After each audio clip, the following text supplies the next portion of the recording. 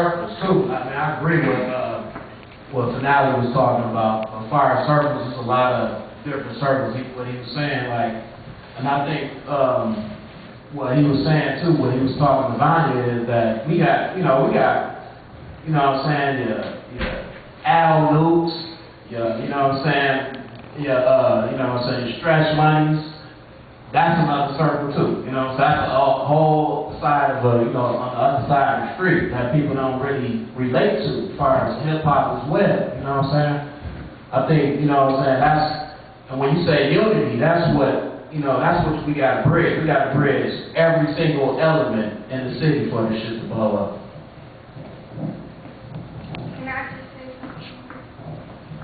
Um, because I think we need to, um, define what I meant by unity or what we meant. I'm not saying we all need to, um, be best friends and that we all need to hang out in our free time. Um, I'm saying when I speak of unity, I mean that, um, to the rest of the world, you need to stand as one. You don't need to hang out, you don't necessarily have to make music with everyone that's in the room. You can stay in your circles, but there's no need to, to have beef with any of the other circles. Like, there's no need to do that. Because what, tha- what that is doing is just bringing the city down. So what you need to do, make music with whoever you want, work with whoever you want, but to the outside, stand as one. And don't bring anyone else in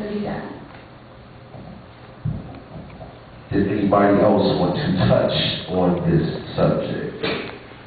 Sheepy?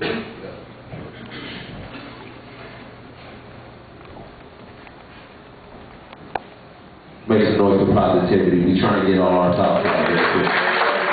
We, we, by the way, to answer your question, you asked this, the second question, we here to figure out the plan. And if there needs to be one. That's why we're here. This is the plan. Stage one.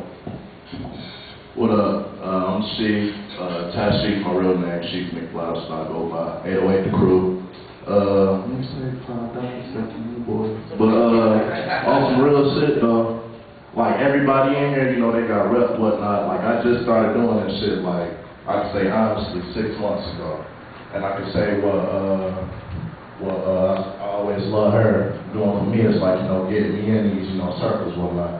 Cause I can honestly say, Nah, ten of y'all heard my shit before, but I know I'm dope, and I see like y'all, you know, just shitting on the new crowd. So, yeah, I'm just here, to, you know, make noise, basically. So yeah, five dollars. The hustle is strong amongst the young lions, yeah. That young lion is trying to eat. Um, go ahead, to come and get the mic or you want to? A lot of peace in the building. What up, fam? What's going on, y'all? My name is William, I'm the managing editor of MichiganHipHop.com, so anybody that's got music, holla at me, you know. Uh, First of all, what Finale said was on point as hell. And um, also, uh, I think that a lot of people don't really realize how much the people that are on do try to like, you know what I'm saying, give back.